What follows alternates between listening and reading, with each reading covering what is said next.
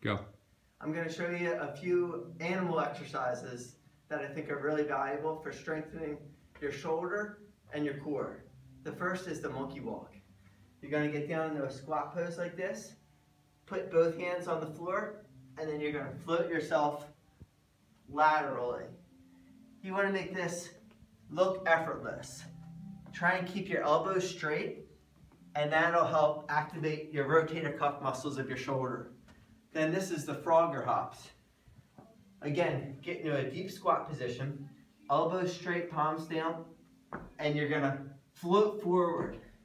I'm a little restricted by my pants, but if you can float your hands or your feet past your hands, that's even better. Keep your elbows straight and float. I recommend 10 monkey walks each way, followed by 10 Frogger hops. Cool.